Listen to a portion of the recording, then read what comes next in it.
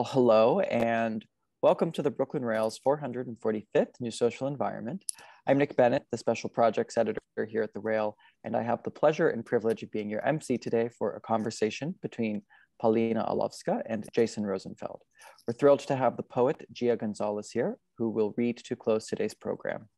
A few notes before we get started. The Rail acknowledges that Black Lives Matter and that here in New York, we are on Lenapehoking, the unceded land and waters of the Wappinger, Canarsie, Munsee, and Lenni Lenape people of the Delaware Nation and Shinnecock Indian Nation. We encourage you to check the chat for a living document of resources and actions that we'll be posting in just a moment. Over the past 21 years here at the Brooklyn Rail, uh, we've undertaken a miraculous journey, bringing together in a single monthly publication art, music, dance, film, theater, literature, alongside thoughtful social and political meditations. As a small nonprofit, we need your help. This December, we are fundraising $150,000 in 31 days, and your contributions will directly support our writers, guest artists, production staff, and operations at the Rail for the coming year. Please check the chat for more information and links that we'll be sharing in just a moment. But now to introduce today's guest and host, Paulina Olowska lives and works in Poland and has had one-person exhibitions at Kunsthalle Basel, the Stedelijk Museum Amsterdam, and the Zacheta National Gallery of Art in Warsaw. She received the prestigious Aachen Art Prize in 2014 with an associated exhibition at the Ludwig Forum for International Art, also in Aachen. She has also staged performances at the Tate Modern, the Carnegie International, and the Museum of Modern Art here in New York. Her exhibition, House Proud at Metro Pictures, is on view through December 11th. And our host today, Jason Rosenfeld, PhD, is Distinguished Chair and Professor of Art History at Marymount Manhattan College and curated the exhibitions John Everett Millais at the Tate Britain and Van Gogh Museum, Pre-Raphaelites, Victorian Avant-Garde at the Tate Britain and the National Gallery of Art in Washington, DC, and River Crossings at Olana and Cedar Grove at, uh, in Hudson and Catskill, New York.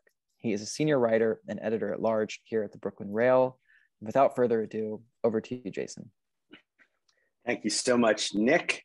Um, welcome, everybody. It's great to see you all again. It's been a couple months for me. Um, happy 10th night of Hanukkah.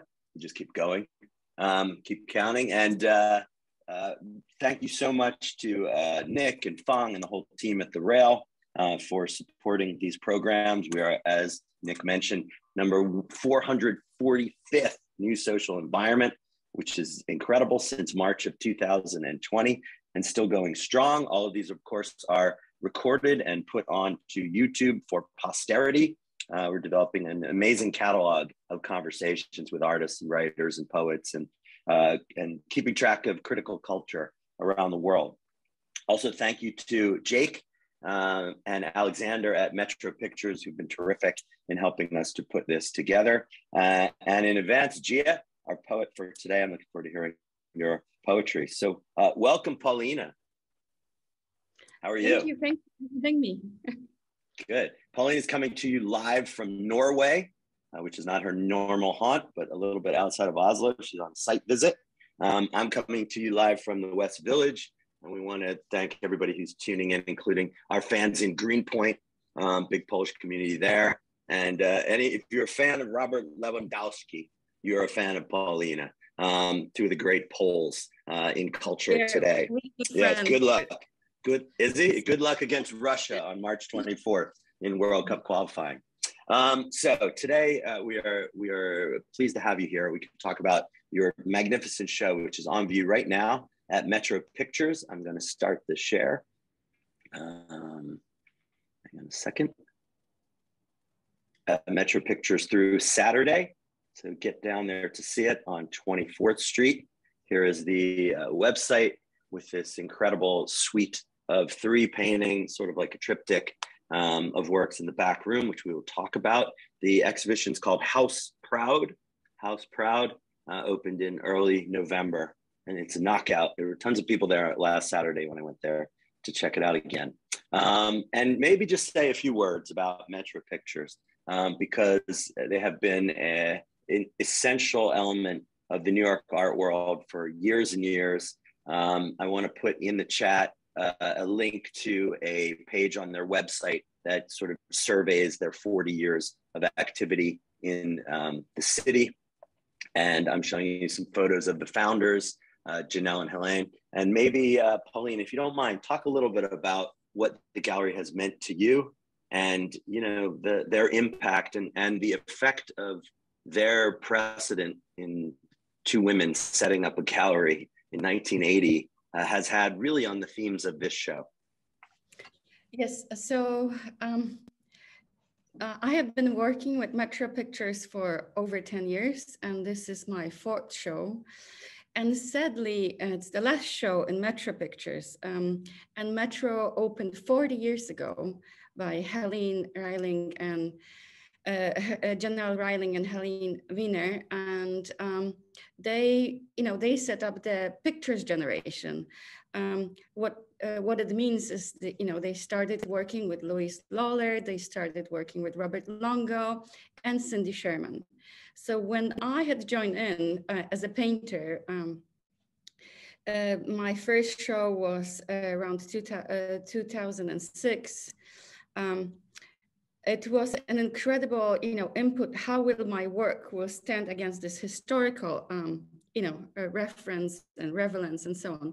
Although I did had a connection to the use of images in my work as well, which um, in my earlier works, it was connected very much to modernism.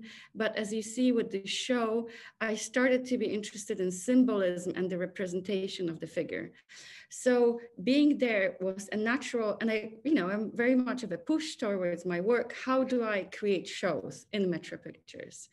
And it was incredible to be showing aside Louise Lawler, like on the picture of uh, Helene and Jenner that you're showing, it's Mike uh, Kelly that I met and I had, you know, personal conversation about how you, you know, how do you create shows, what appropriation means.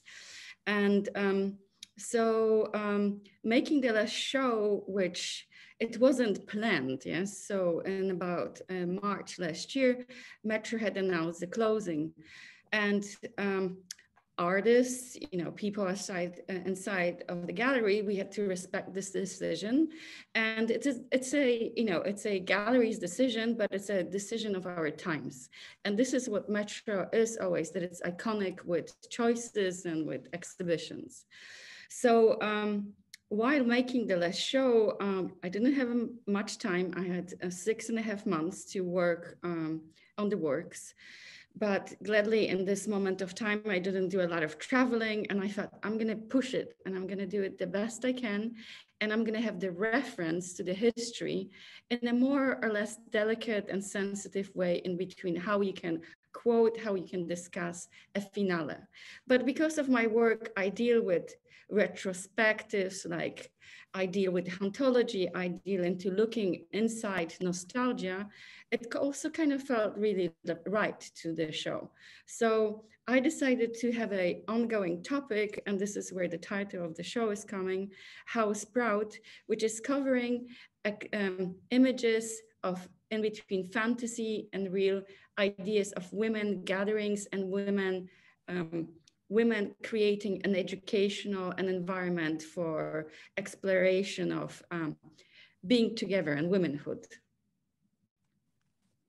So kind of idea of community um, in all of these works that runs through and all of these works. Little, you know, this was new to my previous show because I usually work with a figure, like an um, a one figure and the mm-hmm. paintings have this sense of one to one size because they're slightly sometimes the figures are slightly bigger but it's also the representation of you know the contact of the painting towards you how do you reflect on the figure mm-hmm. so here um, here it's from a show of uh, 2011 um, yeah, it's an interesting work that Jason had pulled out. So um, it's a show um, that is called the revenge of the wise woman. And of course the wise woman has something. It was and it, you were completely right to find this as a kind of changing moment of my relationship. But even in this painting you see that there is a relationship with a work of art which in this uh, on the right images of course in the background of Yves Saint Laurent um, uh, fashion advertising, which is actually taken by Norman Parkinson, we have the painting of um, Francis Bacon. And you know, as a painter, I want to ask, what does it mean to be painting? What does it mean for me to be painting a painting of Francis Bacon? And of course, this is the level, you know, my figure, the woman, she becomes the painting itself. The fashion becomes the painting. And actually in that painting, I really enjoyed just painting this luscious dress so much, but also the, you know, the cupping of the hand of uh, Francis. This was the whole idea of attention, like, and using the um, the homage to another photographer, which was Norman Parkinson, which I quote in my work, which is also in this show, that uh, with the show House Proud, I worked with the archive uh, of Deborah Turbeville. Mm. So people are going to see the works from the present show, but I thought I would show this to start because it kind of marked, as Paulina's saying, a sort of shift in her work. Um, uh, it would take us hours and hours to go through Paulina's career, which is extraordinary. Um, she uh, got her BFA in Chicago, actually, having grown up in Poland at the Art Institute, and then her MFA in Gdansk um, in Poland. So she has worked in uh, multiple continents and has worked in performance and uh, choreography and staging. You can read about all this stuff in a great catalog called Book, called Book, which you can get from J, uh, JRP Press. Really excellent. Um, and then, uh, you know, she's still doing these things, um, all different kinds of uh, uh, media, but in the terms of the paintings, which this show is comprised of, except for one short video, um, they sort of follow along the lines that are kind of established here. So you have an interest in fashion photography, an interest in fine art from multiple periods, not necessarily contemporary art, although here you see a, a late Francis Bacon sort of uh, channeled in the back of this image, uh, and an interest in texture, which you'll see uh, in the painting. So um, there are a lot of complications going on in the present work. Uh, and also the addition of multiple figures instead of just the single figure sort of fashion plate like you see here. But this is a really striking work. And of course, as someone who many of you know is a student of 19th century art, did my degree in Victorian painting, uh, I immediately thought of the works of uh, Joseph uh, Mehoffer, um, especially this painting, which is one of the great masterpieces of the turn of the century in Europe, Strange Garden from 1902, 1903, which is in Warsaw in the National Museum. I saw it in a show at Tate Britain in London, Symbolist Art in Poland, which was in 2009, which my sometime collaborator Alison Smith curated. And it was all the rage in England uh, that year. They loved it. Why? Because it looks like pre Raphaelite art, it resembled Victorian art, but it is weird. It is strange and freaky and bizarre and um, refulgent and, and gorgeous uh, and in a way that you know is really appealing so these kinds of pictures, which are not well known in the US because American museums, frankly, don't collect them. Um, they were known to some people like myself who were students of Robert Rosenblum at the Institute of Fine Arts in New York University because he was interested in everything which was off the modernist beaten track.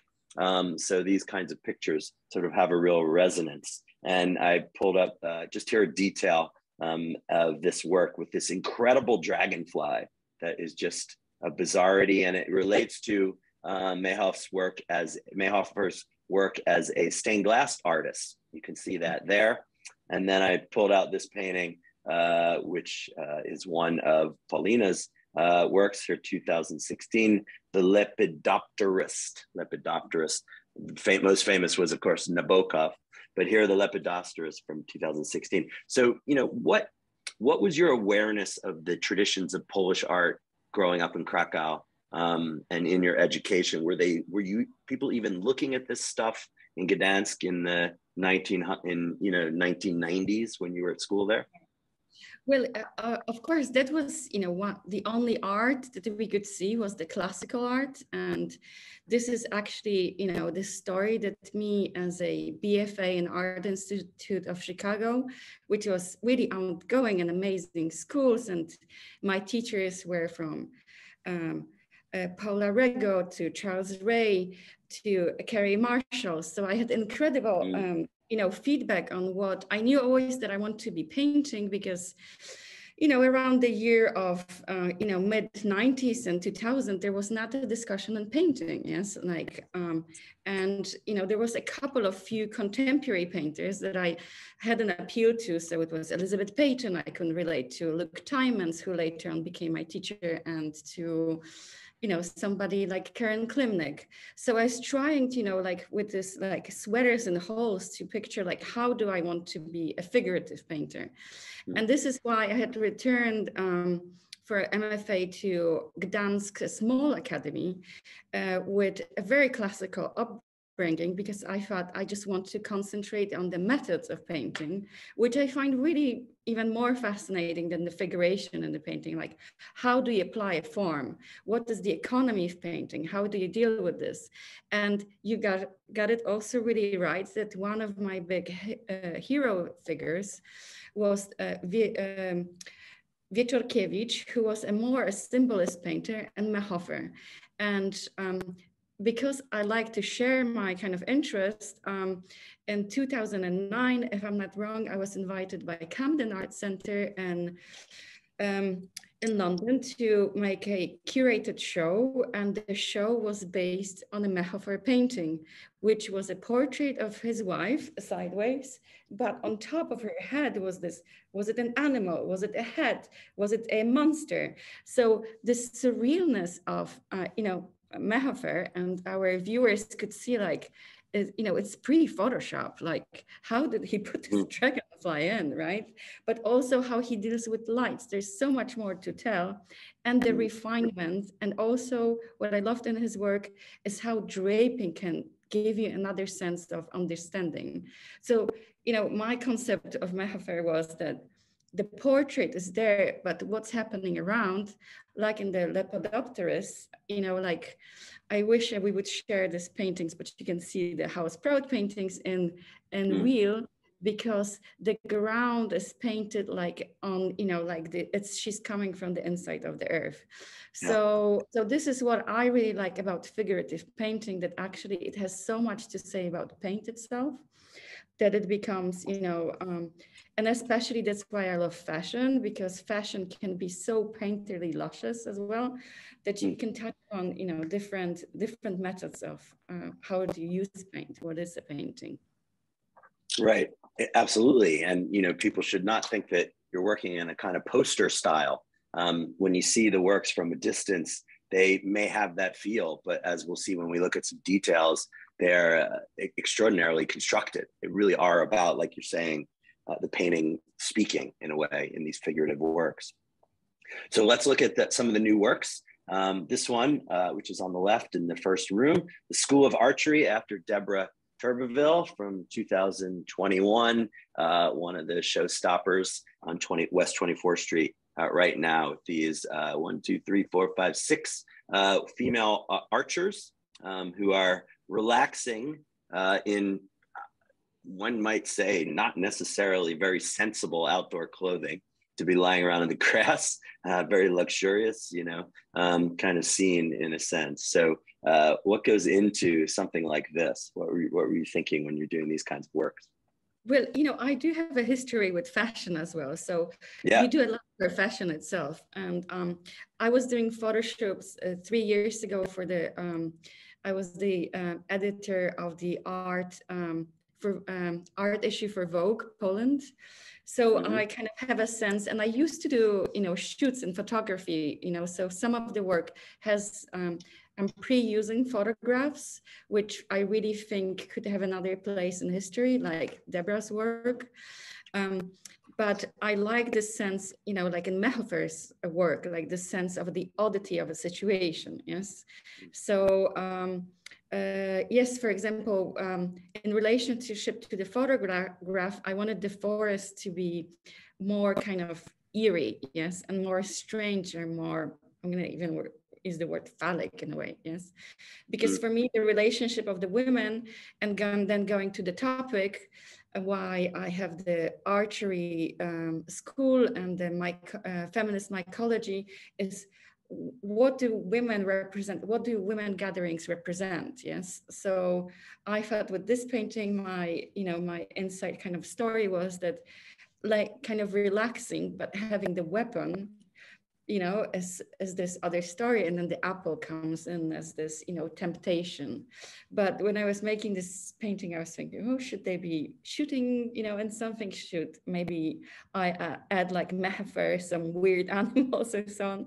But mm. like the apple became the, you know, because then, you know, the other story that I love about painting is color.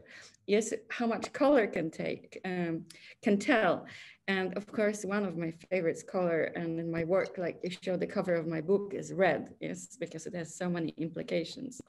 So the red apple, the red arrows, the red um, or more orangey color, the red lipstick, these are the things that can tell even a more um, intertwined story in a painting. Yeah, I mean, when you have these points of color in a work, which is kind of grounded in a particular tone, they really leap out at you. So that's sort of what Poussin did in his pictures. And then it draws your eye around the composition. I love the way they sort of form kind of a wedge coming out towards you. And then all the trees recede into the background, if you call them phallic. The men go into the background and the women are foregrounded in this picture. Speaking of a bunch of men, when you school, when you call something the school of, it makes me think of uh, works by artists like Raphael, the School of Athens, 1509 where you have you know th- i'm not claiming influence here because it, it isn't so clear. Although this image of michelangelo as heraclitus is not so far removed from the lounging woman in the foreground it's kind of happy circumstance. Um, but in raphael's supreme high renaissance conception of the conglomeration of all knowledge which is all male in this testosterone fueled idea of ancient Greece um, in the architecture of ancient Rome, you have a real riposte to that here, a real rejection of that here um, in a different way with these women in their sartorial splendor laid out here in the forest. Let's show people a couple images by Deborah Turbeville, um, who uh, was a photographer, long history, um, worked in New England um, and worked for magazines all over the world. She died in 2000 and 13. And I found these wonderful photos from 1974, which are quite spectral and definitely related to, you know, 19th century art, um, definitely related to the kind of um, aimless aestheticism of works like uh, American artist Thomas Wilmer Dewing, if people know his work, of sort of women all standing around, or Fernand Khnopff, the Belgian symbolist. They're very much related to his paintings of uh, his sister Marguerite in landscapes, and then also the modernist alienation in films like Antonioni's movies. You get that feeling very strongly uh, in these works. So, uh, what attracts you to her work in particular? Well, because um, in, on the beginning, all my work, uh, you know, started with a sense of the magazine. Yes, like the magazine was my way of reforming my um, mm symbolism and the alphabet of my paintings, yes. And I had started working um, on the beginning of, uh, of when I left the art school and then the Rijksakademie in Amsterdam, I started to work, and maybe because I was outside of Poland, with T, Ty i Ja magazine, which is a 1960s magazine that is a collage by itself. So it was made by uh, artists. It kind of got, it was a, uh, um, it was a public magazine, it, um, uh, but it got like a sense of fantasy. But mm. uh, just to keep it short, you know, I was just really, uh, really informed by this self-made fashion shows because the fashion really didn't exist in 1960s and 70s in Poland because there was no brands but it was more the sense of imitation of fashion. So mm. um, I think Deborah has this that we don't know at the end are this fashion shoots or is it a preparation of a film? What is the sense of the relationship? Then what attracted me in her um, and especially these depictions was the relationship with nature yes? Are they a part of it? Do they become you know uh, what is the relationship in between the women? And even the cropping like with this picture that you're showing like the little girl on the side like what is she doing? So uh, what really attracted me to her work and this is why um, when i was preparing the house proud i went to new jersey to visit her archive was like how how the, does she create this um, this tension with you know working for brands as Givenchy or Valentino, but also having loads of photographs where she's using the female female figure as a symbolist of a story and a muse and so on. So when I was visiting the archive, I found out that she was fascinated with Krakow, and she did, um, you know, she did um, two or three uh, photo sessions and uh, fashion sessions with the Kantor's brothers. Yes, um, the two, the Kantor, Tadeusz Kantor has the, the, famous twin brothers who kind of were a part of his Cricot theater. And then I found out, you know, that she had this relationship with a small town in Mexico, where um, I would be also intrigued by the atmosphere and wanting to shoot you know, photographs. So I guess as a painter, this relationship of what is a photographic, but what can become much more, even through painting, emblematic, always kind of attracted me. Yeah. So um, I have a good quote for you from her. She she said once, "I'm not a romantic photographer. I want to get on people's nerves, eerie, not definitively eerie like Joel Peter Witkin. Mine is a more subtle way." And I think that kind of sums it up. You know, that okay. sort of strangeness that you sense in it. Yes. And that, like you were talking about, that juxtaposition of woman with nature. You know, if we're looking at your painting on the left, and woman, since basically since uh, Venetian painting in the Renaissance, was associated with nature, and the male with the urban, the city. Um, and on in your picture on the left, you know, they're really kind of removed from the forest, even though sort of uh, splayed in front of it. But in paintings like Edouard Manet's Le Déjeuner sur l'herbe, sorry for the typo on the right, in 1863, um, you know, he is making that connection between the men wearing their perfectly designed bourgeois outfits and the women who are either in classical drapery or nude or naked, really, who are more associated with nature, something uh, that occurs naturally. And uh, you're kind of beautifully pushing back, obviously, against that, which is obviously an old conceit um, but doing it in a way which is very clever in terms of its accessing photography, fashion, and also the history of art and paintings like A Sunday Afternoon on the Island of La Grande Jatte, which I'm sure you uh, saw first when you went to Chicago uh, as an undergrad. You know the pride of that collection, and of course, it right. never travels. On everything.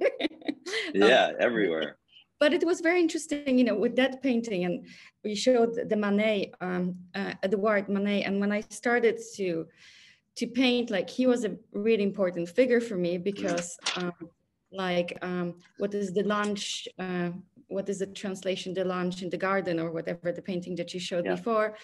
You have this also this relationship, which you, it can only be done in a painting of this strange grounds yes the foreground and the background and like why is the woman appearing um mm. you know in the middle so that painting really really haunted me and disturbed me for years yes mm. and mm. um, and her frontal gaze you know which was something really really uh, amazing and i guess with sarah um uh, Seurat works yes you know it's like one thing about art institute it's just for us as uh, undergrads it was amazing that we our studios were in the back of the art institute. So on lunch breaks you know when we wanted to discuss a certain work of georgia Keefe or look at el greco and so on you know we would just go and with a card and you know we would be there. And it was really really amazing setup you know to be able to be so close to the paintings uh, by itself.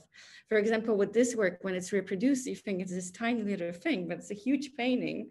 And yeah. actually i think the beauty of this painting is the close-ups or you know see like i really loved how um, Seurat painted the trees as well. Um, yeah. this i use this spray effect in my works as well because it, you know um, with this sense of the economy of painting, which I had discussed with Bernard Frize, a French painter, is like, how do you represent something with a little bit, uh, with a little gesture, but with the most, um, with the most efficiency?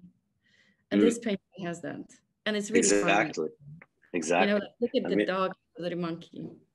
I know. Well, those are all the things which Sondheim loved about it. You know, if you can mention him for a second, since he just passed, um, you know, and got so right in that play um, yeah. and also the the commitment of the artist in making it. so uh, that really makes sense. We'll show some examples of some of your sort of splattering that you do on the surface and a little bit in the details. Um, one more work that I wanted to pull out. The only painting I could think of of uh, female archers from the period who are not Amazons, um, the fair Toxophilites, or English archers, 19th century, painting by the great William Powell Frith, Victorian artist of uh, everyday upper class or upper middle class life uh, in Britain. You have to go to Exeter to see it. Um, but it is also a kind of robust, robust image of, um, you know, female agency uh, in this work. They're waiting their turn, but they're also shown uh, not as classical archers. And they have all the particular accoutrements of toxophilites, which is a word that I had never heard of, but it means someone who pursues archery, um, and also the requisite English country house in the background. Great picture. Of people have never um, heard of it. But in the details of your picture, and here I think you can see some of that spraying going on here, and also the wonderful way that you sort of blur the faces, um, give them a kind of sense of edginess and uncertainty, and this beautiful sort of splay of brushstrokes which make up the fur of her whatever this is, great big boa around her neck, and then this extravagant use of orange and yellow here, which really pops out of the picture along with the lipstick. And of course, they're wearing these uh, bowler hats. So they kind of look like characters out of um, Emma Peel's world. Uh, and these this sort of post-war imagery, it's, it's, it's fantastic. I'll put Thank another you. detail on, maybe talk a little bit about your technique here. Well, the technique, um, um, I I work. It's always you know really when you work with images and not from real life so much the relationship and then past my, of my work, the, even their interpretation of different painters was um, was um, was a tactic or a way of dealing of learning how what a painting is. So I had I worked around the works of um, Stryjeńska and um, also um, kind of classical painters uh, from Malczewski area that you're going to present as well. So it's like when do you like how do you work when you have the image and how do you make it more interesting and so on mm-hmm. so um, there comes the painting and the painting can be treated you know it can be treated flat it can be treated standing up it can be leaned down and also this massive amount of the idea of a brush, the idea of a spray, the idea of a fat paint, thin paint, um, even the spatula, right? So the little knife mm. and so on. So it's just it's just the joy of how you what do you how do you want to represent it? For example, as I said in Seurat, I really learned from uh, his work that dealing with this nature, you either you know let the paint do it, or he spent tons of hours on it. Yes. Yeah. so with with this painting, I thought at night you only painted at night too, bizarrely, to try to get it as as iridescent as possible. Yeah, so I try to be a little modern, and then you know, like stencils come in use. Yes, so yeah, uh, here.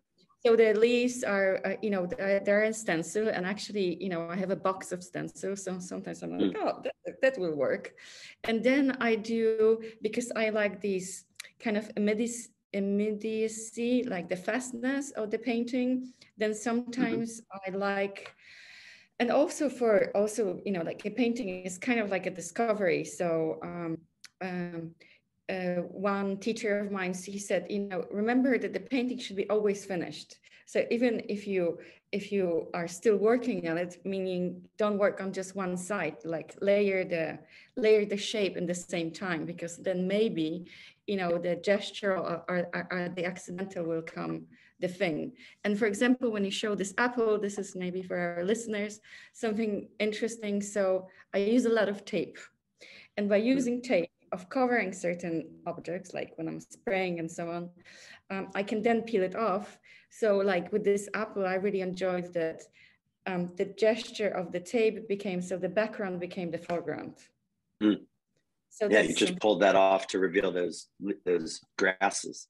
I do struggle as a painter, and especially with these huge works that I have for Metro Pictures, House Proud is like I love turpentine, yes, because with terps you can just flow it, it just yeah. drips, and it can, you know, then you lay a paint on it, and then it falls down. It just, and even like very little uh, paint can, you know, form a beautiful surface.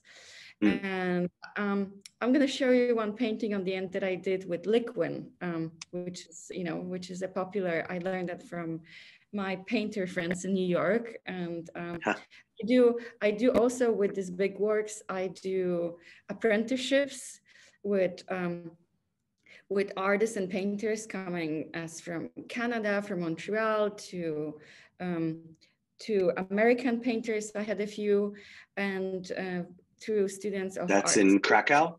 Where is that?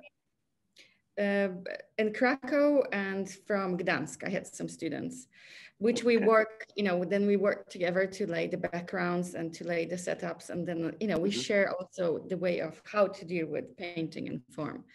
Right. So from this side, I am a little bit like the old masters that the painting, you know, is uh, conceptualized and done by me, but I let the others to kind of join me in. Mm-hmm and by you know by even you know dealing with a painting like this like the forest uh, the grass and this one if you can see the movement of how the paint directed the movement from the bottom on the right side that mm-hmm. i had two people and we were just like whoo, whoo, yeah. you know moving painting up and down and then you need to lay it for the night and leave because the fumes are like you know the studio is going to blow up but um uh, yeah, and and this image you can see also like the layers of painting, and I think Mehoffer had used tape as well when he was painting the big dragonfly, because this is bit, yes, this is a little bit how, how I or maybe he papered, he taped it off because when you do this kind of like covering of a painting, then the scale also turns differently, mm. and. Yeah. Um, and I, you know, I still like the freedom. I do pre collages. Um, now I do more collages on like, you know, with uh, computer manipulations, but still, you know, the accidental is really great. So mm. with this, with this painting, I must say I was really proud of the front, mm. and I really like the little grass attaching. You know, so how do you work with the planes? So the grass um, when it's coming close to the brown dark um, um, blue coat. You can see those little things. Yeah, over and, here. Yeah, yeah, and you know, like with this work, I was working on, on it in the middle of the summer, and I thought, you know, it's also one thing of paint, when I look at paintings, like the flatness, the mattness, the um, do they do they use varnish and so on so sometimes i do use varnish if i want to have the deepness and especially for the darks it's really good mm. but with this this one i felt i thought that i wanted the forest to be really like you know coming from almost illustrations um yeah or animation cells one mm-hmm. one exactly. of the viewers mentioned it has that so kind of feeling and that liquidity exactly so it's done really fast with this sense of um, yeah of how you how you can just gesturally put something but mm. then in the school the academy of fine arts we always talked about the contradiction in paintings that you know if you have the looseness have the tightness yes mm. so the paintings i like to kind of also decide what is the tightness that i'm going to have and of course in yeah. this one the fashion and the figures and the kind of spirit of them and what's uh, the writing here on the tree that sort of burned into the tree well, this painting is called Feminist Mycology with reference of um, Deborah Turbeville and an illustrator artist, Cecilia Granata, that I met while I was researching researching works and this humanized mushroom forms, which I thought are yes. Are. Which you can buy from her. At, she's in California as fabric. They're fantastic, yes, and as pajamas and all the other different kinds of things. Um, These yes. wonderful cheeky bum shots of mushrooms. And she's a tattoo artist, so we can get one yeah. tattoo, which I'm thinking of getting one. but so the, the relationship, like uh, when I started to work on it, and I I had done, I have two painting with mycology reference. Um, one is in the Tate, it's called The Alchemist, and one is um, in a private collection in New York. It's called The Mycologist from my last show, Hysteria, Hysteria, Mysteria in Metro Pictures. But um, I called this work feminist mycology because I was I was kind of thinking, oh, I wonder if mushrooms have a sense of feminist understanding. And then Cecilia's kind of work popped out. And um, so mycology, by the way, is the study of fungi. Those of you who are not up on your various biological terms, which I, of course, did not know either. um, so this this image, and I think you're going to show the image later on, is a, mm-hmm. an Italian um, feminist from 1960s. Uh, yeah. So. Uh, you know, so it says in Italian, solidarity with women's struggles is all over the world. Yes, and um, I think you have it in the states as well, but I don't know, and this like post-Soviet, like people really just love to engrave their names with knives, you know. So whenever something was public, like mm. a chalet in the mountains, you know, like a shelter, like everybody would just everywhere just engrave those names. Right. So I was kind of imagining the mycologists, you know, where they were taking the rest of like cutting the mushrooms with a knife that they just wanted to leave this track of feminist symbol. I love this. These these are this is a team of mycologists who are studying fungi um, in clothing like it comes out of Succession, and uh, with these fabulous hats. It's just it's it's super creative. Um, just a few details. Some of this wonderful working of the medium you see there. This uh, beautiful treatment of the face, uh, a little bit scowling in profile on the left, and then this very liquid use of the paint. And this one you're using acrylic and oil together, right? Yes, it's like the acrylic, oil, and uh, spray is a part of it. So yeah. I use like yeah. acrylic spray and sometimes car spray. Um, yeah. and I'm thinking and, there's something else hidden. I mean, it gives it the quality of a watercolor, even though it's gigantic. Gigantic, it's huge painting, you know, but it has that kind of feel. Yes. Uh, here's another painting in the first room, House Proud from 2021, which I, I call the post ABBA painting um, and this image of these four uh, figures against this wall um, with this graffito or this graffiti uh, that goes across the wall and then somehow enters the sky, which is a, a wonderful sort of surrealist touch here on the left. Um, you know, the 80s will never leave us, uh, but this kind of style that you see here. Um, and uh, here's a detailed shot of this graffiti. Where is this wall? Paulina? This is in uh, this is in Ukraine, and I was um, I have a Ukrainian friend, and she's living now in California, but she goes back to Kiev, and we were just discussing so often in her work. She's an artist as well and a painter. We uh, we just discussed how much this beautiful method that you know existed since Italy. This graffito is a method that you uh, dig into into a not dry cement so the cement has to be like really fresh. And then if you you, you do levels of color cement so the deeper you get so it's if you go really deep i think in this one it was the red. If you don't go so deep you have the blue and so on. So it's like these layers of how how do you control the knife? And i learned that in the academy of fine arts in gdansk.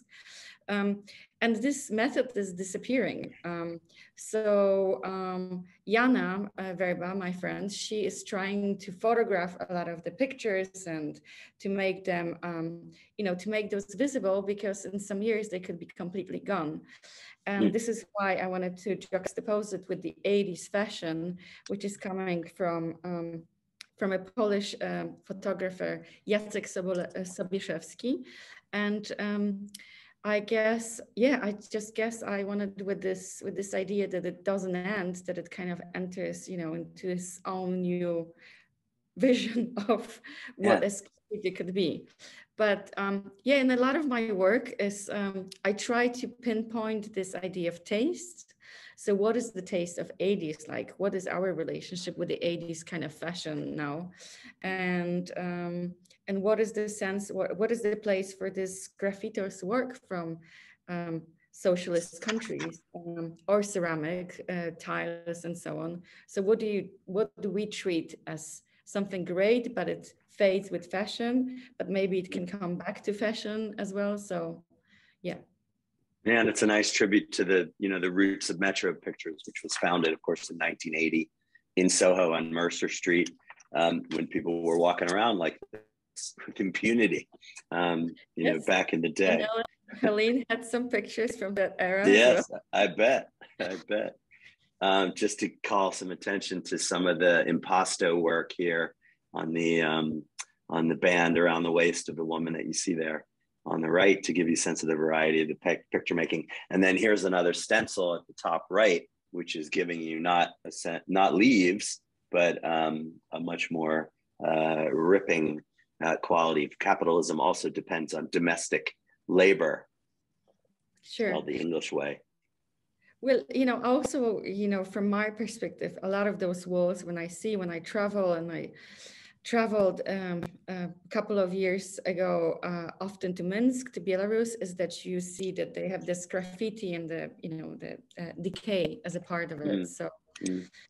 So this uh, this one is coming also from because the house proud, and just to come back to the title and um, the whole rela- relationship with women-run spaces is put together in a small film in a show, which we're gonna leave for our viewers to come and still, you know, see it.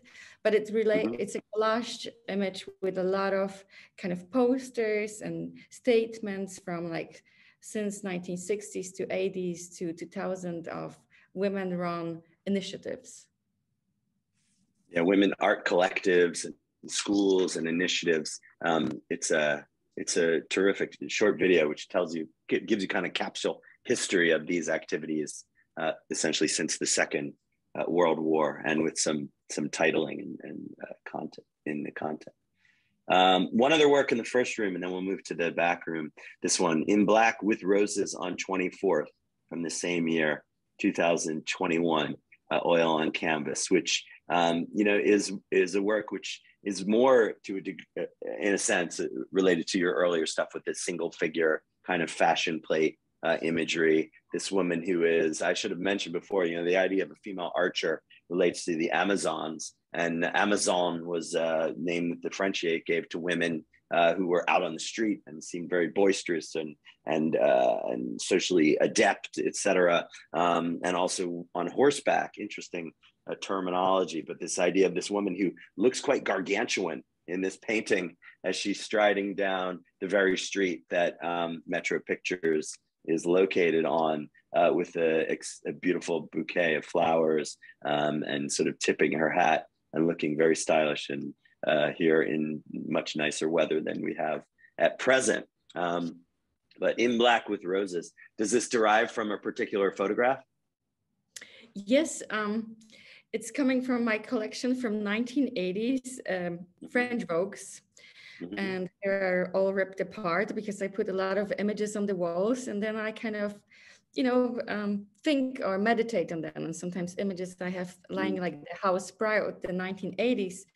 Uh, painting really didn't make sense uh, when I thought with this juxtapose of sgraffito and, as you said, of the history of the opening of Metro and what what, what was this fashion. So mm. this image, this image was the last image that I painted, and I had to rush paint it because transport was coming, and from Krakow to New York is a long way. So yep. that's where I use Liquin. And um, yeah, and I just wanted to say that it has this different way, like a lusciousness of painting, which you can see in the, like at the bottom, um, the ground, what she's walking into, but there's a thickness mm. to it as well. And yeah. for me, um, it is a relationship, but I can tell you all as a secret. It's like it's based loosely on Carla Bruni. Ah, but okay. I, I, think I wasn't. I was like, oh my god, it's not about Carla Bruni. But I thought that this, the idea of a black, and the idea how in fashion what the black stands for, and you know this mm-hmm. rushing in for the last last uh, last opening, because at the end you know we all love openings as well and this is what chelsea is about it's like mm-hmm. how the mm-hmm. experience shows how we go from one to another and i was house proud that actually on the last day uh, on the opening day in the evening we managed to have music and disco in the in the gallery with the paintings and that was really fabulous you know on this um, on this last time that the walls here the music in relationship to to the paintings. So, um, so this is the first work that you see when you enter the gallery, but also the last work that you see. It's mm. two mm. large rooms. Um, and I wanted to to have this also feeling like is it the beginning or is it the end? Is she rushing in? Where is she rushing in? And just yeah. for the reference of the background, because the background is collaged from uh, from ooh, um, funny to say, but Google Images, because I should ask my friend Jake from Metro to send me a picture, but sometimes you paint in the rush, as you say, in the middle of the night. So I was like, oh, I'm going to Google find it. And I did, and I misinterpreted. So I put 24th Street around Metro. And this Far west. yes, popped out. And I was like, oh, I don't remember Metro having red brick. But I was like, fine, let's just do the red because I like the red with the red of the roses. So then when I look closer, I was like, oh, there's a label. So of the gallery. So instead I thought it's better when she just takes the bus. so there's a, uh, like one, my favorite part is the relationship with the roses and the color and like the, uh, you know, mm. the angular composition with the bust up on the end. Yeah, terrific. Yeah, and, and she has a real monumentality, you know, a kind of presence. And it made me thinking about, you know, how in fashion photography, uh, even if it wasn't happening in painting, especially in modernist painting, giving women a kind of sense of power and agency. And you know, it does have a traditional basis. Just a couple examples: Frederic Leighton's portrait of May Sartoris, uh, which is in the Kimbell in Fort Worth, and then John Singer Sargent's Mr. and Mrs. I.N. Phelps Stokes, where Mr. Stokes is very much a secondary character to his vivacious uh, American Wife. This is a painting at the Met, and that idea of you know fashion and agency and power and um, self assurance, you know, which you're channeling in in these present works, um, and they collapse time in a really uh, beautiful way. Um, is there something about this? I have a question from G.E. Schwartz, um, which feels like nostalgic. You know, do you, are you thinking about these things as sort of nostalgic? Because I look at the painting at the right, and Carla Bruni, obviously, you know, she she is uh, uh, she's in her 50s now, but um, you know, it, it feels timeless in a way. This image on the right, and I think that is something that is really effective in your work. That you can find these pointers which recall the past, but at the same time, it, it brings us into a, a kind of social present.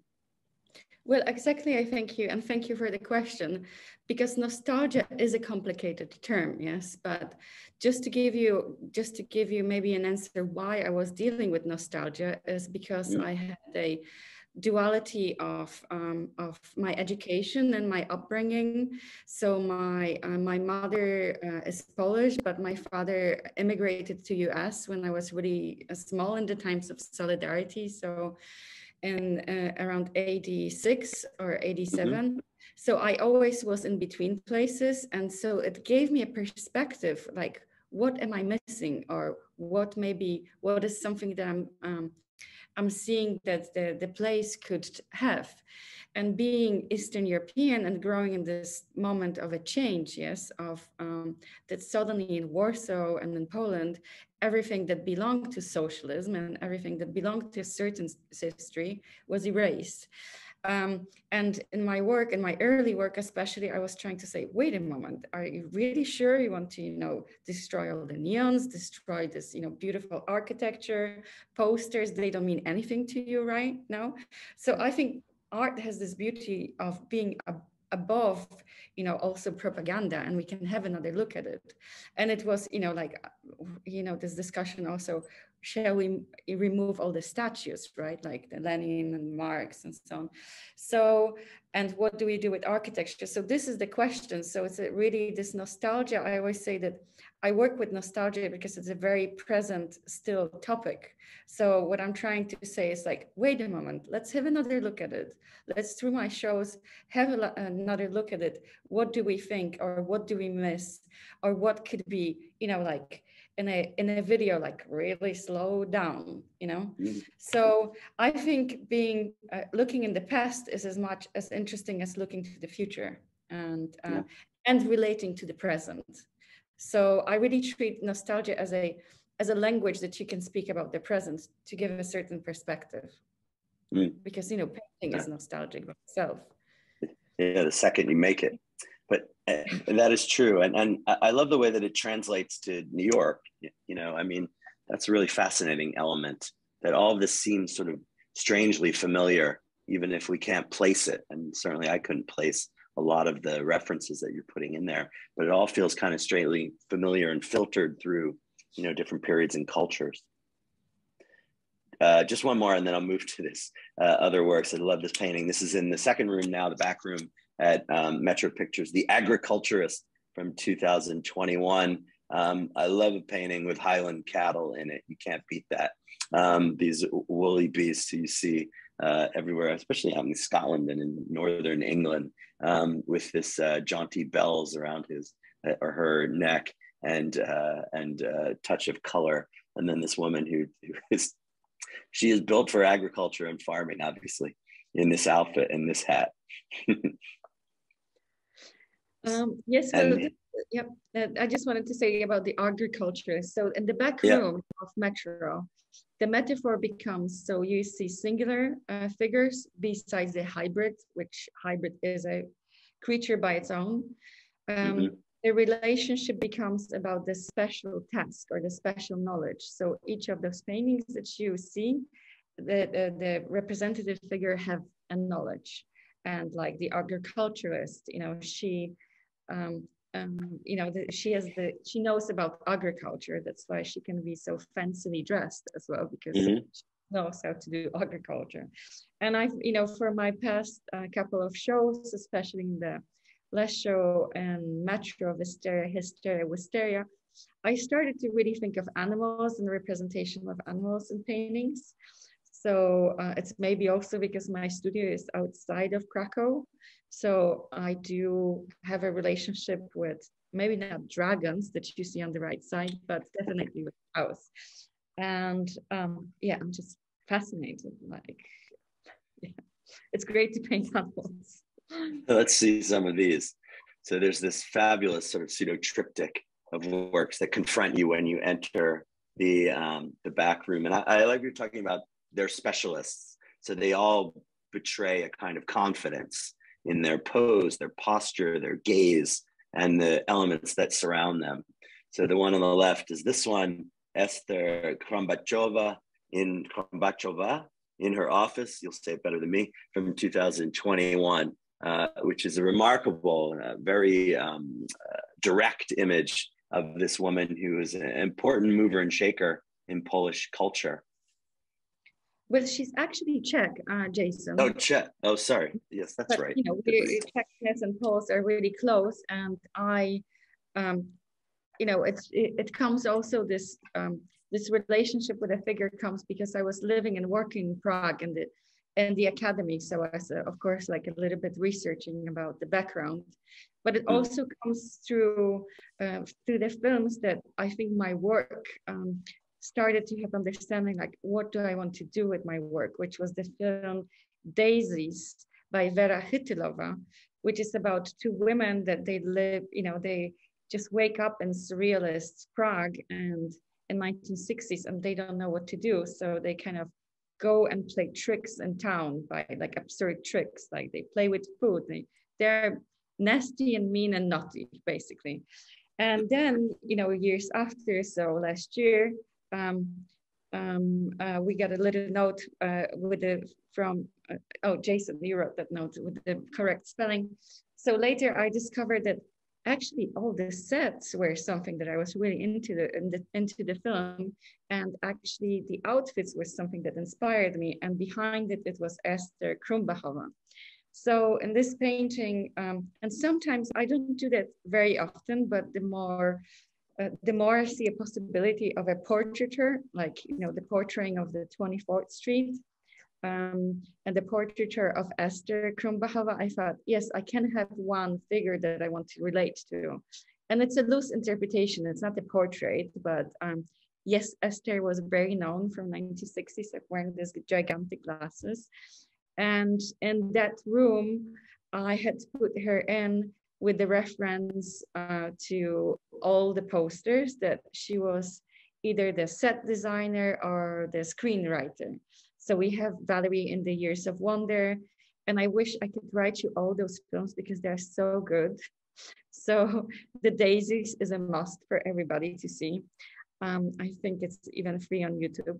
Fruits of Paradise, super bizarre.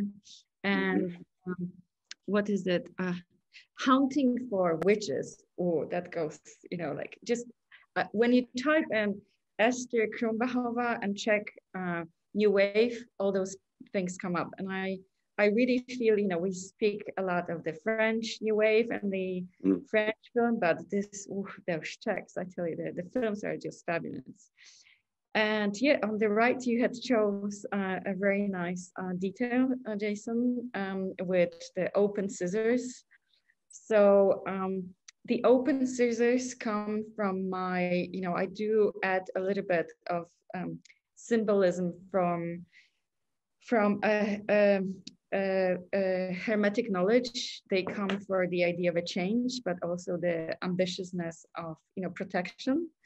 Mm. and you know she's a fashion you know she did uh, the costumes and the fashion. So of course i thought the scissors must be there sometimes you know just so you know like sometimes i research sometimes they come very quickly the symbols to put yeah. in so the bell um the all candle, the lit candles all yes. the lit candles here yeah but i think if you see the, you see where the candles are coming from because the hunting for witchcraft the film yeah. which is so brutal as well um yeah, and this is where the skull is coming from it's like it's all kind of lit by candles in a way right right and who yes. you know the holy mary is like it's such a hard symbolism. I, I had one show in Hong Kong when I had a lot of images in ceramic in relationship to Holy Marys and like women yeah. of as saints. And it's still like such a potential, like, you know, how can you how can you work with religion? It's not this a patriar- patriarchal system.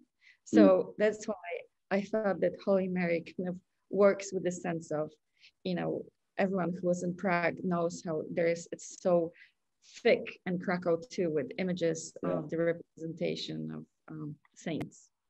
Also it, it is lends to the whole gothic atmosphere not just her dress but also the the content of the films for which she was costume designer. It all works yeah. well. And the, the painting that it made me think of is this one by john singer sargent of isabella stewart gardner. And that idea of a woman sort of enmeshed in the environment uh, the world that she creates. And sargent to his credit didn't do, do that in the painting but knew that it would be displayed in the Gardner Museum in Boston, and she would be sort of you know in the midst of all the the world that she created there in that magical house museum, um, and it also has the quality of a religious icon. That painting, which I think comes out strongly in yours. Sorry, go Thank ahead. You. That's such a great juxtaposition. I'm so I was proud. there you go. Yeah. So we need to check out some of these Czech modern movies. The thing that her her her, uh, her glasses made me think of uh, in Polish culture was Ashes and Diamonds, which is like oh, the yeah. first movie that anyone who ever studies Polish film or Eastern film watches. And that sunglasses where you can see the eyes, which was such a weird thing when I saw that movie. That's by Wajda. Um, great film from 1958, Ashes and Diamonds. Uh, just quickly, hybrid, and then I want to move through the rest of the thing and open us up to uh, questions uh, hybrid, this extraordinary painting, which has something to do with the occult and Aleister Crowley and is in a totally different stylistic vein, much more of a kind of poster uh, aesthetic, but with these Kirsten Dunst like faces um, who also seem to inhabit some kind of uh, 1950s, 1960s um, aesthetic, and then all these arcane symbols, which I'm sure it would take a long time to unpack. In fact, there's really helpful information at the gallery in a pamphlet that you can read when you look at all this material. But here you're working in a very different mode yeah. in this painting. Yeah, I um well I kind of you know thinking of metro and thinking of womanhood and so on. It was also kind of like sometimes the symbols are coming to me, so called. So yeah. I was looking at the um, at the tarot cards of uh, Aleister Crowley, and yeah.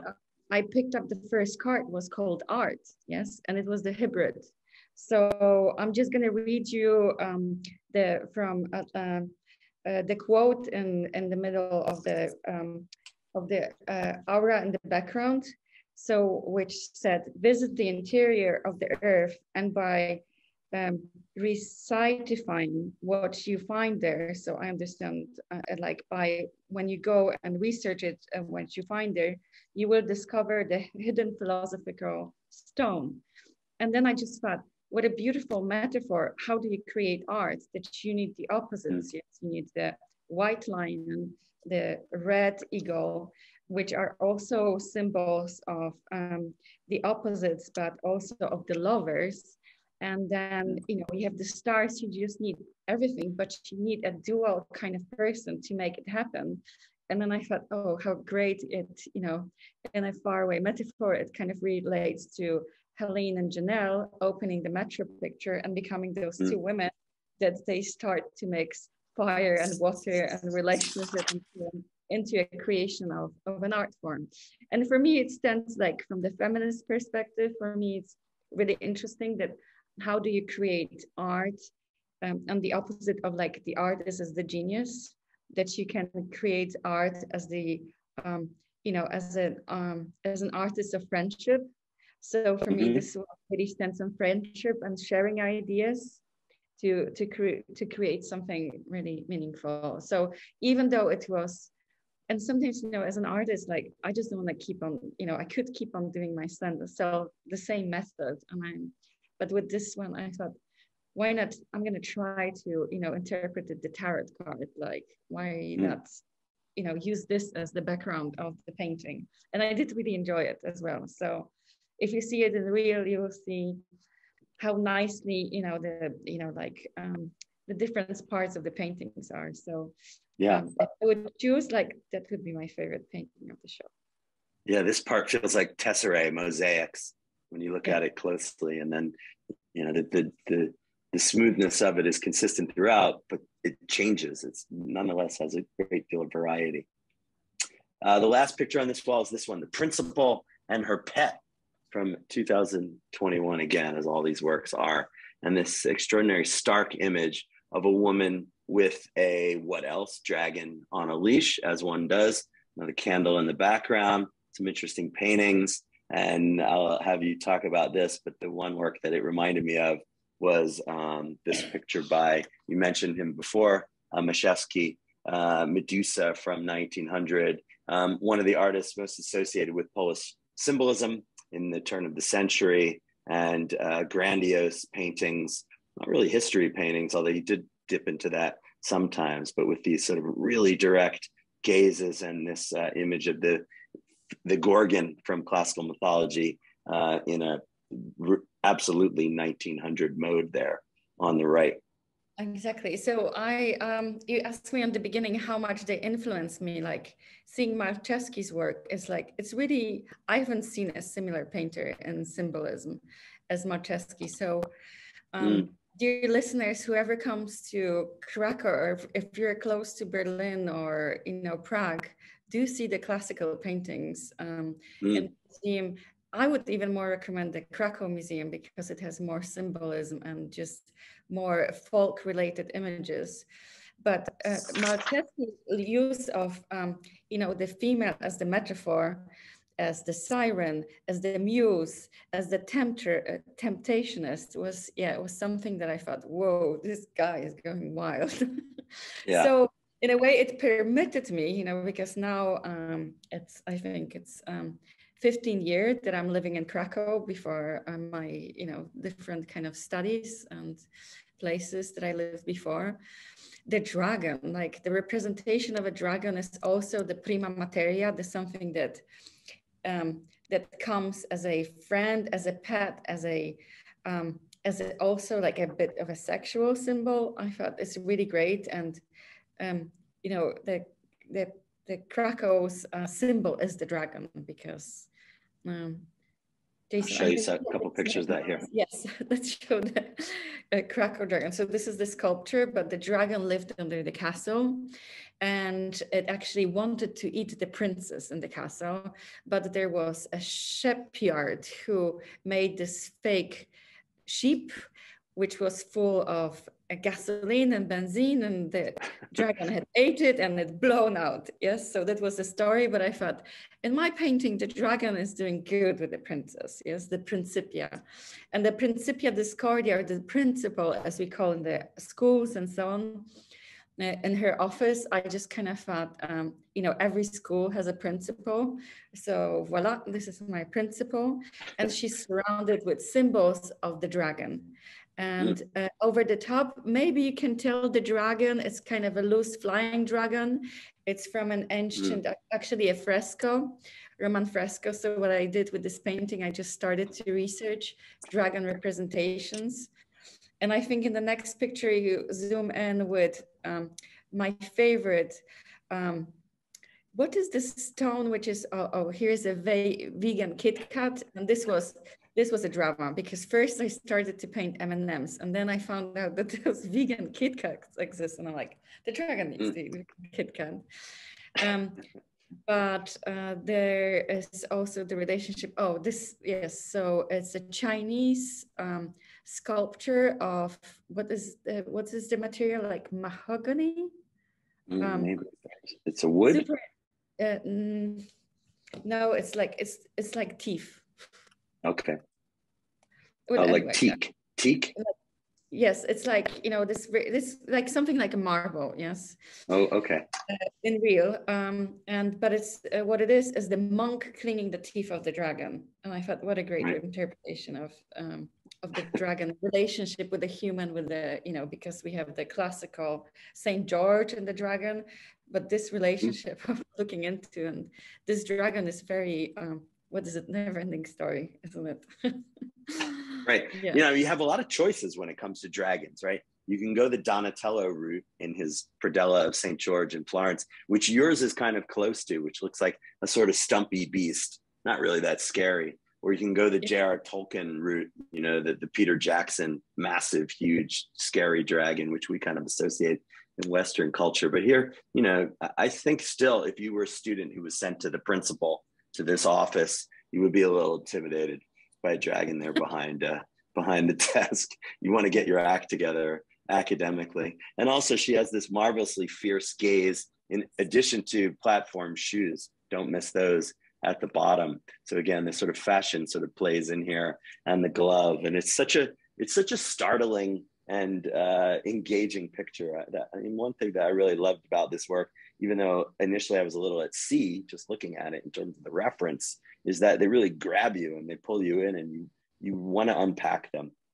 They're they're interesting on so many different uh, levels, and part of that is, of course, to do with this the the powerful gazes that you give uh, these figures, which in other contexts would you say sort of almost relates to a kind of blank gaze that you often do see in photog- fashion photography that sort of neutral blank gaze, but they don't read like that here because of all the elements that surround them. Yeah, well, you know, with Esther Krumbachova, like it's, it's the frontal gaze, and you know it from painting that to paint somebody frontal, I think it comes also because even if you photograph, if you don't have a model, this like mm. I know you, I, I see you having contact with me is the hardest. So mm. in my earlier work, I preferred to have you know like all different ways of dealing with the face. But because it was the most tempting, I started to work with that as well. Um, you yeah. know, what does it do to the painting? But it's, I tell you, it's the hardest thing. It's like really, it's hit and miss as well. Yeah. All right. So one final work, and then we'll look at some questions. Just to note the small vi the video, which is here in this room on the other side of the room, House Proud. Uh, which has this collation of images of female art projects and collaborative uh, exchanges. And then uh, on the wall next to the agriculturalist, you have this, the most curious image, I think, in the show. Um, it's called The Cleaners, which is like a play on uh, Millet's The Gleaners. Um, Jean-Francois Jean-Francois Millet's The Gleaners. Of course, they're, they're workers of a kind uh, from 2021, oil on canvas, this image of three women, uh, two who are visible, uh, with a with uh, broomsticks and uh, and and pots. They're the sort of um, cleaning pans. So we'll just end with this. I'll let you talk about this a little bit. Please enlighten us as to what's going on here. as well. So um, yeah, but I think you know I think the difference for the viewers if when you come and see the show, it becomes anecdotal because of the more images you see around so um yeah you know like this is the beauty of like really working with presence and nostalgia that this painting has this you know other aura around where you know that actually it's about the two women you know cleaning the space and moving on. And the beauty of yeah, representation of jobs as well like you know any school any institution needs the cleaners. And and i i think we you know we need to pay respect for them and they mm. uh, you know they need um i just kind of thought we cannot live without the cleaners as a representation of a community as well. Yeah. So domestic also, labor yes also yeah. because i love the fashion and um, I remember when I was in Moscow, still a couple of years ago, you know, when you go to the Red Square and you see the woman with the brooms, you know, wearing the headscarves and so on. It's just like, and a big puffy jackets. It's, mm. I think it's one of my favorite kind of like a beautiful morning dance, you know, with the sound and so on. So, and actually this, this reference photograph is coming um, maybe you can see it, it's coming from a fashion show. So I juxtapose and play with this image of the cleaners on a catwalk. Yes. So in fashion, the idea of the you know of the dirty look also becomes a film a thing with Comme des Garçons, Rei Kawakubo, and so on. So I mm-hmm. wanted to you know play on that as well. Yeah, and this idea of you know fashionably dressing as a, a person of labor, you know, it makes me think of Marie Antoinette at Le Petit Hameau, that that little village that she had built at Versailles, so that she could dress up as a peasant and fit into the lower class life uh, between meals at the at the Grand Chateau. Um, but I love also this little, uh, so you know, that sense of pleasure and that kind of knowing glance on the figure in the back, whereas models on the runway are usually not meant to kind of break containment and show emotion, right? But here, you know, I think that's a, a beautiful way to end the show um, and to, you know, characterize your relationship with the gallery and and the uh, the owners of the gallery um, and that sense of the pleasure, you know, that that is involved in this whole industry, uh, which we're involved involved with. Um, thank you so much, Paulina, for uh, talking to us today. Um, everyone, please, if you can, get to the exhibit, uh, which closes on Saturday. It is endlessly fascinating. Um, figuration is back. Um, artists are doing remarkable things with it. Um, and we just try to give you a little window into the range of reference in these kinds of works. And whether it's John Currin's pictures or Lisa Yuskavage, or, you know, this is where uh, things are happening and the culture is changing um, in both the medium of painting, still remarkably, and in uh, figuration. So uh, kudos to you, Paulina. Thank you so much for uh, joining us from Scandinavia. Um, I will stop. I just want to thank you for this wonderful juxtaposition with images. It's so even for me refreshing and um, and amazing. So thank you for um, all your research and on your inputs to the work. My pleasure. It's great fun. Thank you. So I'll turn over to Nick. Well, I'll, I'll likewise thank you both for such a wonderful conversation. And this has been so rich and, and um, so wonderful. So thank you. And, you know, by extension, again, thank you to Metro Pictures for everything they've done here and for many, many years. Um, before I pass the mic off, um, I wanted to read a comment from our friend Tamara Gonzalez, who had to leave, but um, another great, interesting reference to the uh, the work with um, tarot that T- Tamara said uh, to mention that the Crowley deck was painted by a woman, the lady, the, the, sorry, the lady Frieda Harris. So um, mm-hmm. another great reference there. But uh, I'll post a, a, link in there uh, in the chat. Sorry, uh, but I'm going to pass the mic first to our friend G. E. Schwartz to ask our first question. Thank you. Thank you, Nick. And thank you, Jason and Paulina. I've struck looking at these, um, especially these high glossy, fashionable kind of takes, is that it, it, it, a question about a, a trauma that seems to be underneath it all. and and looking at the work, it seems as though I was reminded of um, of two artists. One is the indigenous artist Freddie Taylor um, um, of Canada, who who is working through the the deep trauma of his people in our society, and also of Mike Kelley. Um, both seem to have made uh, kind of cosmos um, resulting from the kind of trauma that they went through uh, brought on by provincial and cultural um, education.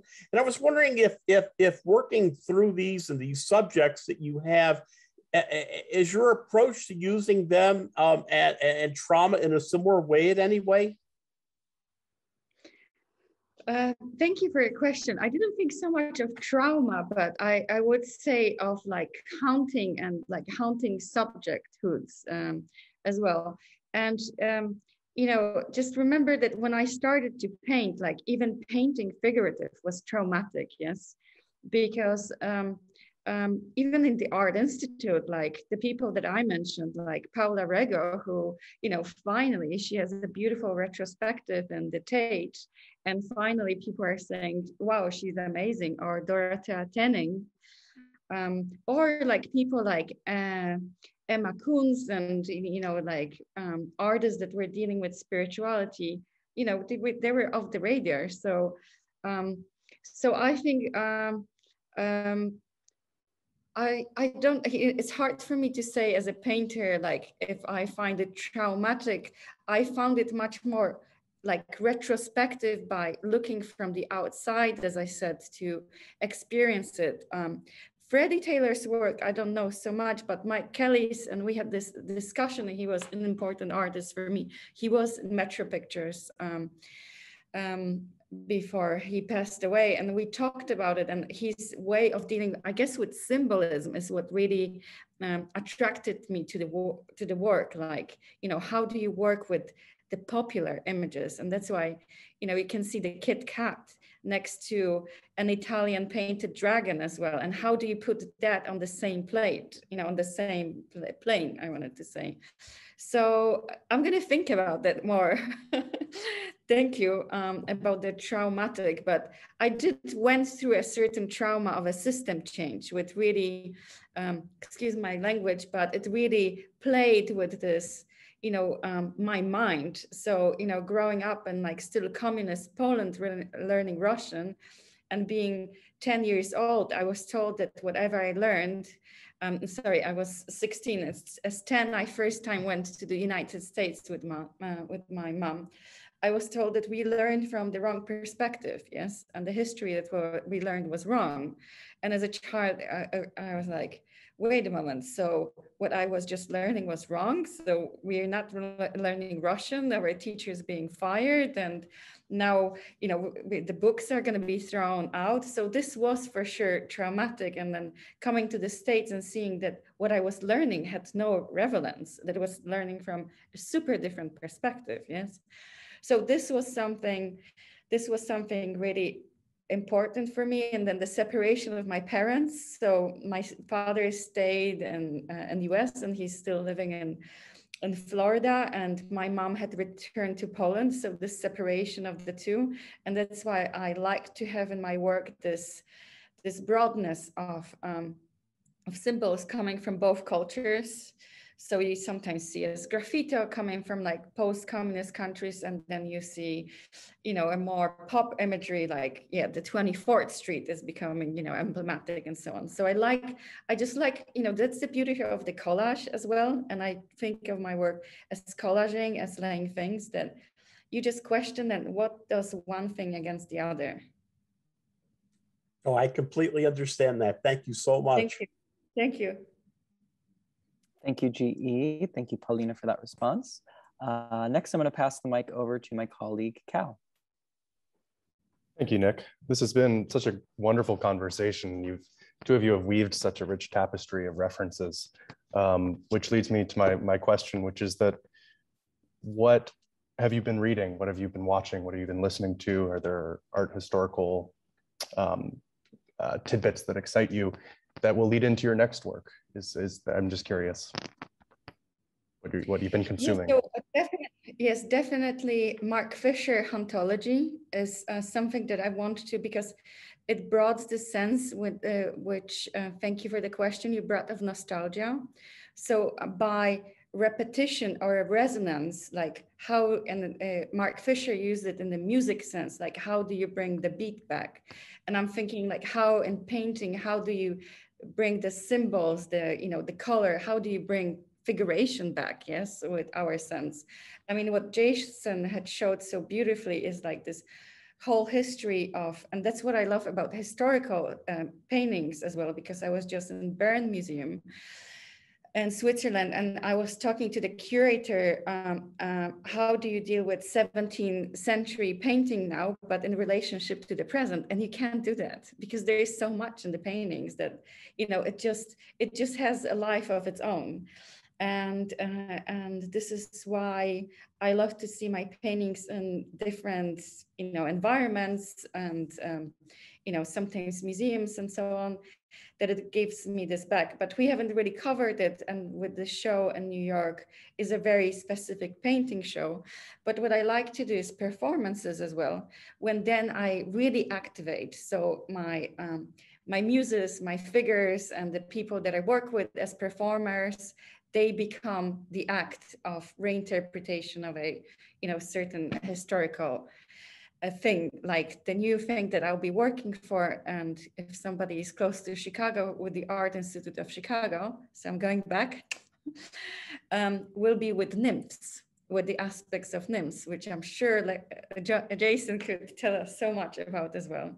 So um, yeah there um, and so whenever i kind of pick a topic i just also that's the beauty of you know like researching that then the research comes to you and so on. Uh, so yeah. Well thank you. Thank you. I'm excited to see you tackle mark fisher. Thank you uh, thank you cal and thank you paulina for that little sneak peek into what is to come. Um, it's our tradition to pass the mic over to the Rail's own Phong H. Bui for the final question. So Phong, handing the mic over to you. Thank you, Nick. Thank you, Jason. Thank you, Paulina. I'm sorry I was in and out because there was, you know, phone meeting and whatnot. But I enjoyed your work over the years. And um, since I've been reading so much about the history of American pragmatism, uh, which is so contingent on how to re-rhetoric or redeploy some idea of education and not making it into a, a overwhelmingly um, industry. You know, need to be private tended or personally personalized in some way or another, beginning with children really. Uh, but so I've been reading a great deal of John Dewey, of course, reading John Dewey led me to uh, his teacher, William James. And one of the things about James, since I already have read, read, years ago, The Principle of Psychology, very important book, is that both him and his brother, William James, there's a common say that one, the thing about the James brother is that one writes psychology books that read like a novel, and the other write novels that read like psychology books. Mm-hmm. So bring to the question I have, which sometimes I bring it up to other friends when I have the chance to. For example, recently, two months ago, when I interviewed John Currin for the Rail, uh, who started out in graduate school being an abstract expressionist inspired painter. He was making terrific de Kooning-like painting. He threatened to show me one that he kept and survived. And there's other people who done that. Of course, we can't help but bring to mind Gerhard Richter, who able to do both representational painting while making abstract painting. My question to you, Paulina, have you ever started out as an abstract painter in some way? I know there are, yeah, that's that's a question. You're reading into the uh, future. that you know i say always if i'm going to be in my 80s i'm going to get into the abstract work um, so I did, you know, I did work on because I also like to work with painting as this idea of a stage set or the idea of narration. So for Salzburg exhibition, when I was doing with dance and dance and sound, I worked with this sense of abstract work, but also uh, uh and the paintings itself, there is so like, you know, this is what Jason had, you know, zoomed into, that there is so much of abstraction itself, you know, painting a pattern, yeah. it's like you really just go on and so on.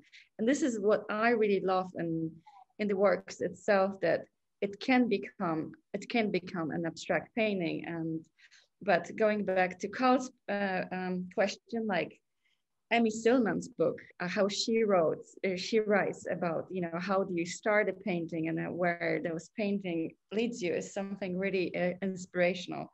So like secretly under the table, I do look at, and I admire abstraction very much. And um, one of my next projects will be for Whitechapel in London right now. Um, I was being asked to curate actually the collection that I'm visiting now in Norway. So uh, Christen Sveaas's collection. And I'm looking at this, you know, how, from Howard Hodgkins to, you know, to Christopher Wool's abstraction and so on. And I'm like, oh, I can, you know, I can fill the room with that right now. But I'm turning it into the scenic set, a set, a set.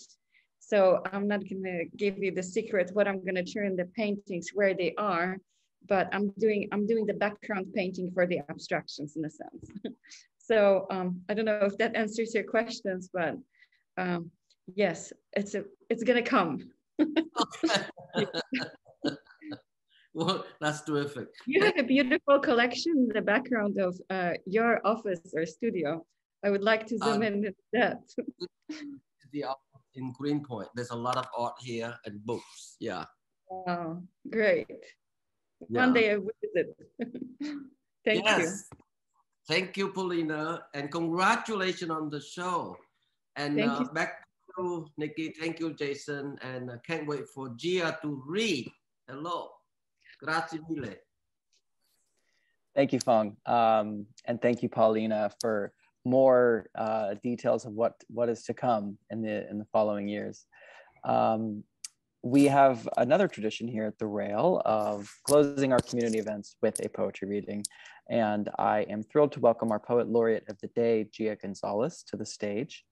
A poet in New York City, where she was born and former co-curator of the SEG reading series, Gia Gonzales's work has most recently appeared in No Issue, Femscapes, and Bomb Cyclone, and variously with the, the Poetry Project. Her first chapbook is forthcoming from Portable Press at Yo-Yo Labs, and she is the managing editor at Nightboat Books. Uh, Gia, the stage is yours. Great, thank you. I just want to um, add my thanks uh, to you, Paulina and Jason, for uh, the conversation and for this opportunity and invitation to really immerse myself in your work this afternoon. Um, I had to enter the meeting a little bit late uh, because of a work meeting, but uh, just having the opportunity to sit with your paintings has been such a um, wonderful respite, uh, an engrossing respite from the workday. um, and thank you, of course, also to the Brooklyn Rail for inviting me to close out the event. I'm really happy um, to be taking part in this tradition. Um, so I'll be reading from two uh, sets of prose poems. They're short, um, and it's a form I found myself drawn to as of late. Um, they're decidedly works in progress. Um, but I'll be starting by reading from some poems I've been writing in response to research I've been doing into uh, the production of American exploitation films in the Philippines in the 1970s. Um, and then I'll be reading some poems which are uh, closer to home back in the domestic space. Green, scared, and pretty. There's a red-white disambiguation in the virgin landscape, my little white doll who bathes in tainted water. Yet something of self-knowledge, the unworried concoction of aerosoled hair gaudies the tableau. An ecstasy of shock on the colonial caning. The butch, the naive, and the mousy panaille surrounding her aroused her white agony, cut to the butch who wipes her finger on her shirt beyond the pale.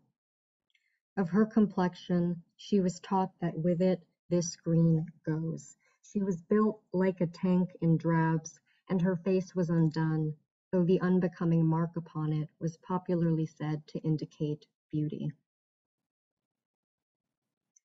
The rich landscape aflame cheaply. So paid, the brown boy was made to throw himself with vigor against the glass, a carabao chewing distantly on a long frond. By this logic, first defiled, then exploded, is a fate not so much to be pitied as depended on. Their end goal of failure. Gleaming sheets of straight black hair under which two twins labor aimlessly in the loamy, sucking dirt. Meanwhile, the blonde speaks, with breath and enunciation of solitary, to the overwrought tune. There's a train in the background, so apologies for that. In a bamboo cage. Clasping her arms around her knees, she signaled to herself and to others the perceived superfluousness of her presence.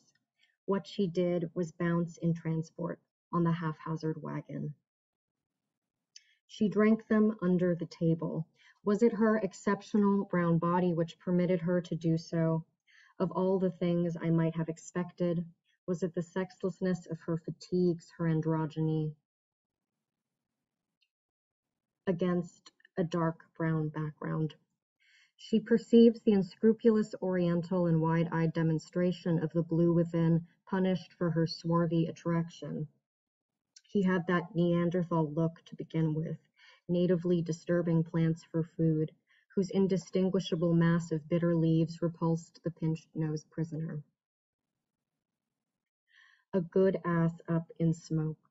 So flame destroys the indecorous femme who had, in pigtails, allowed herself to be led behind a curtain, a drab sheet, and grovel maudlinly, who made a body spectacle and could demonstrate the terror of her own defilement by allowing herself merely to be positioned in the foreground, where she was drank or swallowed up as easily as milk.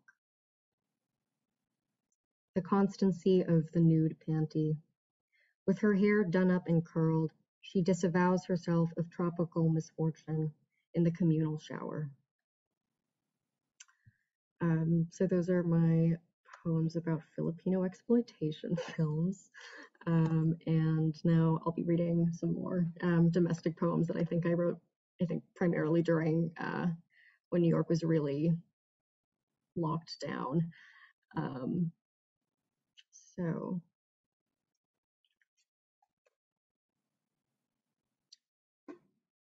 I imagined a den of warming light, a bit of slowness in a straight line and imagined immersing myself halfway, slowly and insidiously, into a body of water. There was no fairer weather. I was unopposed in my languor, returning again and again from an osmosis of sound. And nothing flowered, nothing cocked its head big as a dog's, no litmus test on the back porch. Pleasure was tempered by the constancy of pleasure. There was no failure to proceed and when I assumed the posture of sleep, sleep came to me. I began to understand certain allures. For example, her low modulated voice situates me in a bathroom away from her husband, and I understand she is applying curlers to my hair, though I am partial to neurologist scenes. This is the most brilliant celebrity video, and was shown vultures in your path in Texas, a semblance of dismissal in courtship. The wind chime sound indicated outsideness, and that moment of buoyancy on the live stream turned out to be my sister. My approach would be different this time, bound neither to languor nor to distress. And yet the arms placed elsewhere, eye affixed to other eye a signifier, maintaining understanding, conceding comfortably, face bright with conciliatory good humor, acknowledging your riposte. Thought hardened, then spread, the beveled edge of a blade growing wider and slimmer. You open your mouth for me and the feeling grows stronger. My fingers are slight as I initiate. What shall I give you? Groins fist tight, slow-mo makes widening. In the mind a gesture takes hold, then body follows suit. Now that the skin of this fruit has slipped off, the inner flesh is revealed smooth as a stone in hand. I eliminate all trace of discipline in myself, content merely to lie open-legged in a candid and amorous state. As such, I set a new precedent against which no rebuttal can be made. Demarcate the page in shades of red. To write with even-tempered attenuation as thought occurs. To wrest away language, to scale it in largest alienation. What this kind of labor promises. There's no need but pleasantry in the face of desultory emotion. My side hustle's gimmicky and gives error to my writing life, but certain overtures make themselves known. Alarm is bifold wallet in a state of dispossession. Pen is upward stroke encounter alarming the effete what she said. Please equate me a gift of your filigree. I wanted to be taken seriously, I spent. Frugality wore well on you. I was with you in this economy. Your affectations delude no one, and of you, my sister says, he is adorned. Boundedly the food is set on wooden slats. Rigor in the spots of home and deceit and love is the empty word. I'm fulfilled. Objections nothing, just a ploy in mitigated air, and the obtuse sound of lowing consecrates the room in hand. Thank you. Thank you so much, Gia. Thank you for sharing your poetry with us today. That was beautiful and a great way to conclude this wonderful conversation with you, Jason and Paulina. Thank you, Paulina, for joining us late into your evening. And thank you, Jason, as always. Um, I'd like to also give a special thanks to Tom, Jake, and everyone, the extended staff at the Metro Pictures, the extended staff at Metro Pictures for helping to make today's program possible. Um, we'd again like to thank Metro Pictures for its extraordinary legacy that will continue on after the closure of its physical space. Uh, we encourage everyone to view our archive of these conversations on our YouTube channel, where we will upload today's conversation shortly. Join us tomorrow at 1 p.m. for our 64th Radical Poetry reading, curated by the legendary Robert Kelly and featuring poetry read by Billy Chernikoff, Pierre Joris, Kimberly, Kimberly Line, and Jerome Rothenberg. Uh, you can now all turn on your microphones to say hello and goodbye. And thank you all again for joining us today. Thank you, everybody. Thank you, Thank Paulina. Thank Thanks, you. Paulina. so much. Thank Thank you. Very good. Thank good. you so much. Thank you. Thank you. Thank you all. Thank, Thank you you so Dad, for much. showing up. Thank you, Gia. Father's in the house. Today. Yes. Really Hey. Charlie. Good to see you. Looking forward to the new issue. How many pages? 156. Oh, A new rep- 156 New record. pages. Bring it. Yeah. Go rail. Looking forward to that. It's going to break mailboxes across the world. It probably has a spine. Yeah. Thank you, Gia. That was great. Thank you. Jason. Good to thank you, Jason. Mr. Rosenfeld. Thank you. Yep. Good you. Thanks, Phong. Everybody have a Thank you. great Thank- couple. I'll see you in two weeks. Go see See you Paulina soon. show. Please go Go see see Paulina Paulina's show. show. Okay. Thank, thank you, Gia. Bye. Bye, guys.